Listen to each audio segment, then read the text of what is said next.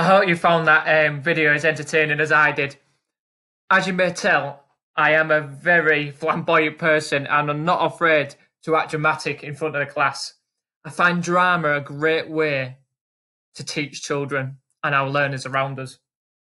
Try and be someone different and have a laugh.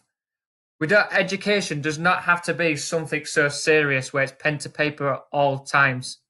So, what I want to go through throughout this um, PowerPoint is about personalisation, differentiation of our SEMH learners. First thing I want to do is apologise if I make any mistakes. I murmur. If I like pauses, long pauses, or if something doesn't come across the way I intend it to. So I do apologise. As you all are professionals within your areas, you are used to teaching to an audience and not to a screen where there's no one else there, which that person will then listen to at a later time. So hopefully this will go the way we want it to go. So I wanted to add this bit in just to share, apologise before we start. So what's our aims of this then? I want us to understand how to recognise emotions, to analyse the information, to incorporate practical approaches, and to demonstrate personalisation for the nurture of our SEMH learners. I want to encourage them and ourselves to try new challenges, take ourselves out of our comfort zone slightly, and then celebrate it by saying, Well done, give yourself a pat on the back. On the back. God, that was hard. How did you manage it? Make them small steps first, then increase the, um, the challenges over time. The best way to talk and to express who I am is to talk who I am. So my name's John Blades. I'm the social emotional mental health lead teacher at Parkside at Phoenix Park Academy. I'm also lucky enough to be the Wellspring Academy social emotional mental health expert practitioner. I'm hoping these slides will take you through an emotional journey that hopefully that you can reflect on yourselves or the journey you've been through, but also our learners. So a little bit about my past, and maybe you can reflect on your past. I started as a sales assistant at Copeland's. Absolutely loved this job. Closing time, let's eat. That's what it was like. 30% off, meals during the day. Who could ask for more? As time went on, I started thinking about what I wanted to do for the future. Because during my time at school, I was a nightmare child. I would probably have ended up in one of the settings I'm in now if it wasn't for my amazing teachers that I had where I was. So I got offered a part time job at Sport and Play Development, as well as on the side a teaching assistant role within a primary school. This was 40 hours a week, and for a person at 18 years old, I thought about first thing the coinage, the money, where that could get me, driving lessons, etc., stuff like that.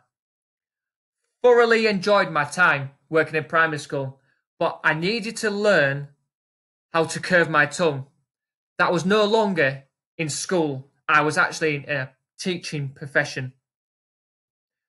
So I decided to move on and work as a transport manager for Wincanton and B&Q, which was based in Manchester. From this, I learned how to curve my tongue. I was in charge of 40 plus beefy lorry drivers who all know lorry drivers have a sense of humour so dry you've just got to take it and not react to it. Over this time of this short term contract, it built me up to wanting to return back to school and thinking that I've made a mistake leading my last profession. I started becoming, um, I applied for a job, sorry, as a learning mentor stroke HLTA at Phoenix House and luckily back in 2010 was offered the job. From then, I've moved on to be a teacher and then now a social emotional mental health teacher within my setting, which I am extremely, extremely proud of. So, what is a social emotional mental health? It is children and young people that experience a wide range of social emotional activity um, difficulties, sorry, which manifest themselves in many ways. These may include becoming withdrawn or isolated, as well as displaying challenging, disruptive, and disturbing behaviours. Now, I know within my setting, a lot of our children will display negative behaviors because they cannot deal with their inner emotion of themselves. They find showing anger the easiest option. So from there, we looked at personalizing their lessons. So personalisation refers to a pace of learning and an instru- um, instructional approach, which are then optimized for the needs of each learner. And this is something that can make it a sequence from a starting point to a finishing point. But making sure that these lessons for your learners are meaningful and relevant for the learners within your setting. So we looked at emotions that we use and started to incorporate within my setting at Parkside.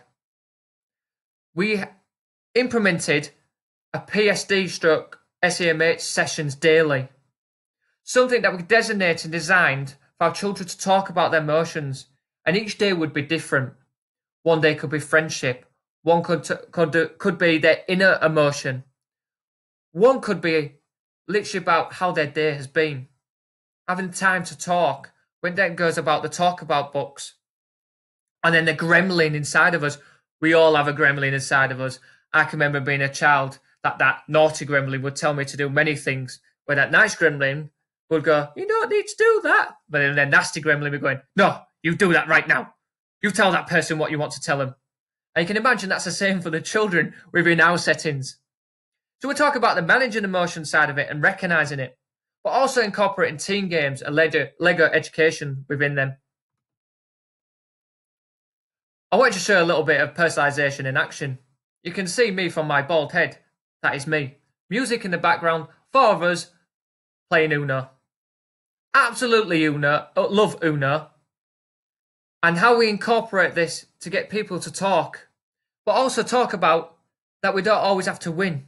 Sometimes we have to come second or third or fourth. Incorporate memory games into our academic studies.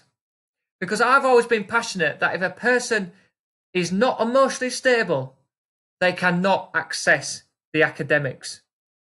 So you can incorporate different things to him 21, counting. Bane's emotions. Talk about what they like about themselves. Because I know, which I'll go into more detail soon, that people feel quite negative about themselves. This is something that can be done on a one to one basis using Play Doh, which you can see from the picture. We can use Lego. Now, we're going to talk about something about Lego, about an autistic child that I used to have in my settings setting within a primary school. This autistic child, which we all know, like to have their pens, pencils, and everything in one place. And he put his desk under a small alcove within the in the classroom. From there, I created a lesson using Lego about their emotions. They couldn't talk, they just had to build what their emotion was. This young person did the classroom. Used little Lego pieces as himself, as the teacher, as other children in the classroom, and put red bricks around his desk. He then told us that he felt lonely and no one wanted to play with him during break times. And this is what he felt when he came into school.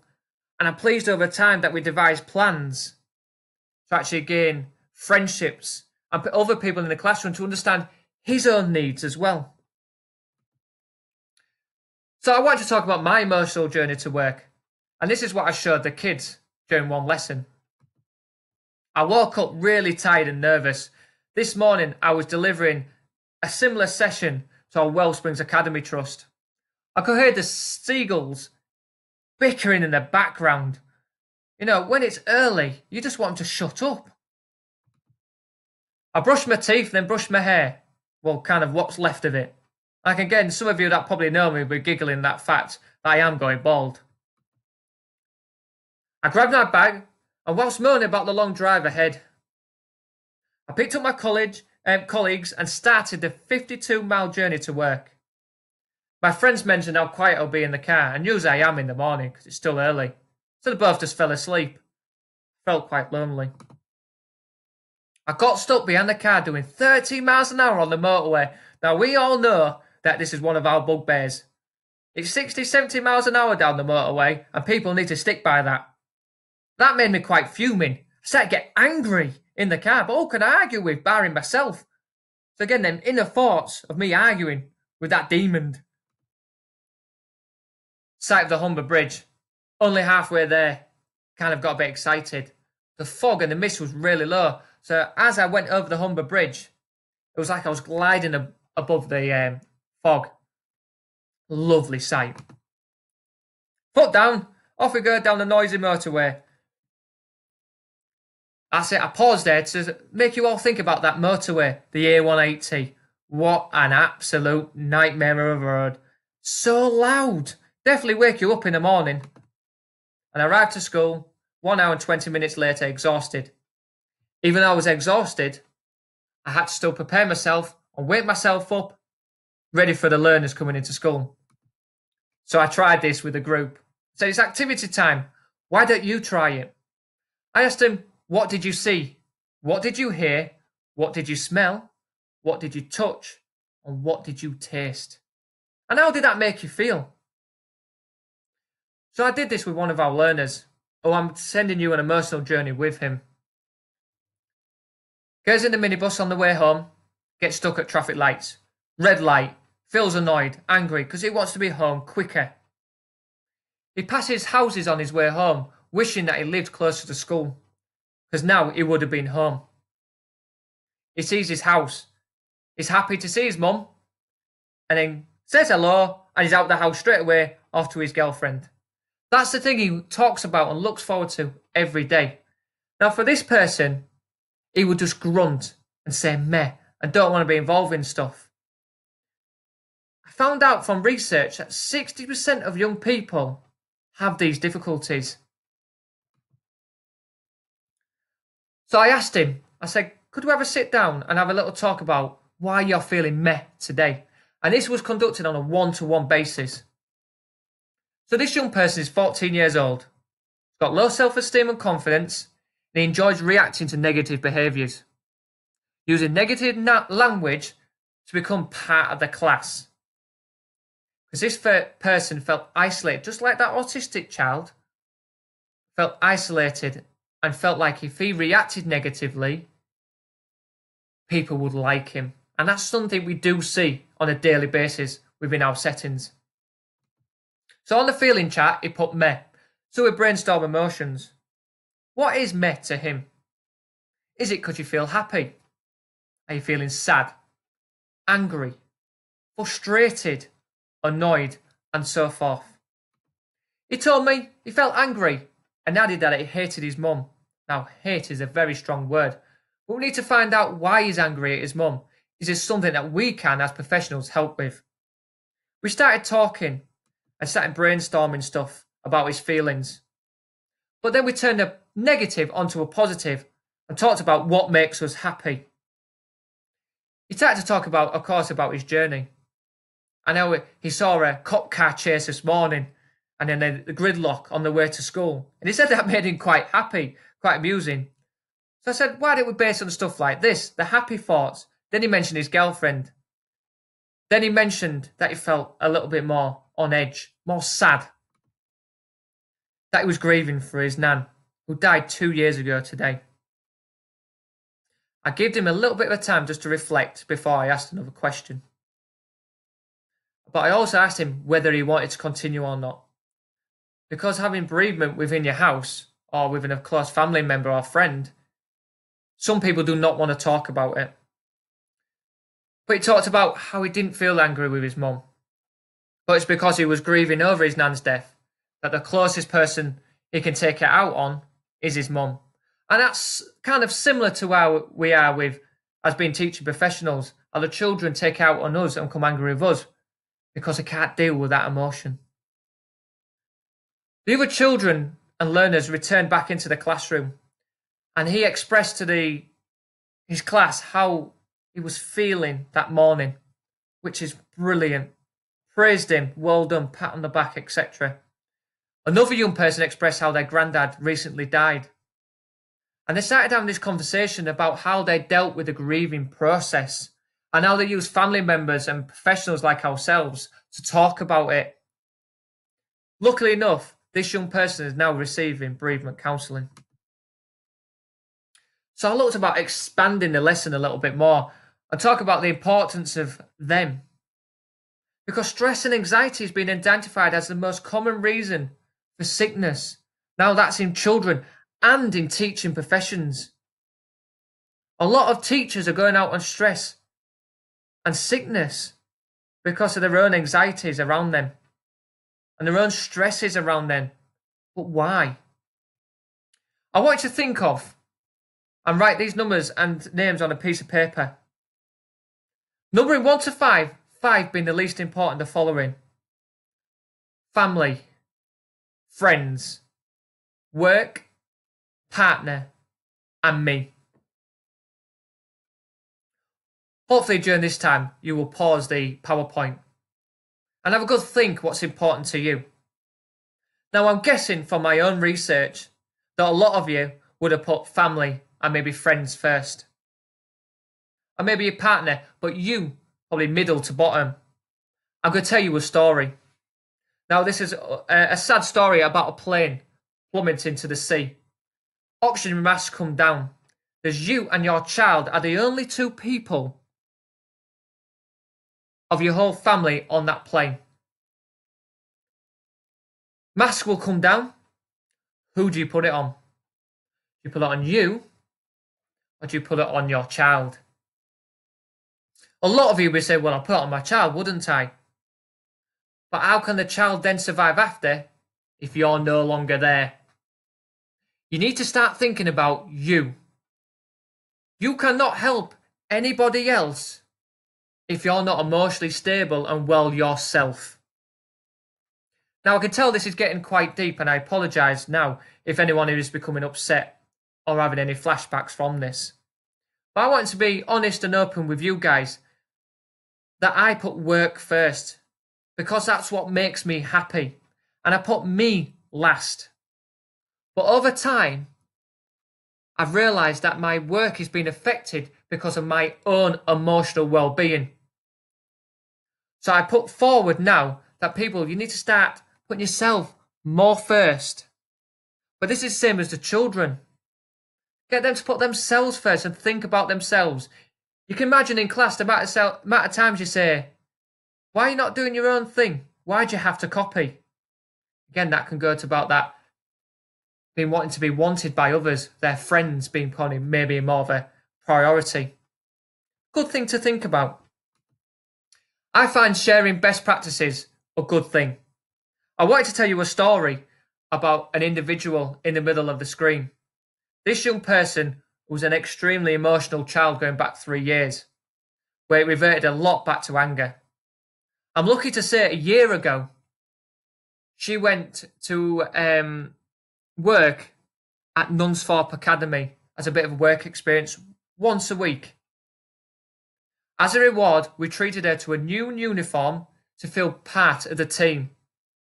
So she didn't feel like she was a student. We had some feedback from one of the professionals mentioning that she worked very closely with an autistic child. And previously, they would take over hours to get that young person from underneath the desk. It took this young person five minutes. Now, I'm hoping that's down to what she's learned from her time at Parkside and her own emotional well-being being improved and become more stable. You can hold silent debates in other things, not get people to argue across the room, eh, across the room. Get them to write it down. Draw around the hand, talk about what's important to them. Get the students to teach the lesson.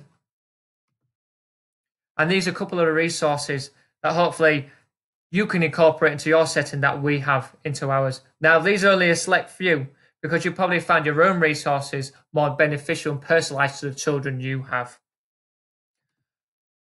So, hopefully, today you've understand the emotional aspect of it and how to incorporate into your daily routine. How to differentiate the activities based on the individual's requirements. Identify the need of intervention and to remember that we are important. And then from that, you will incorporate data to support strengths and weakness, what's been successful and not successful. We are not going to be successful all the time, but we are here and we will make a difference. I'd like to thank you for your time and thank you again for um, taking this time to listen to my presentation. And hopefully you can incorporate these into your settings. I will leave you again with my favourite video.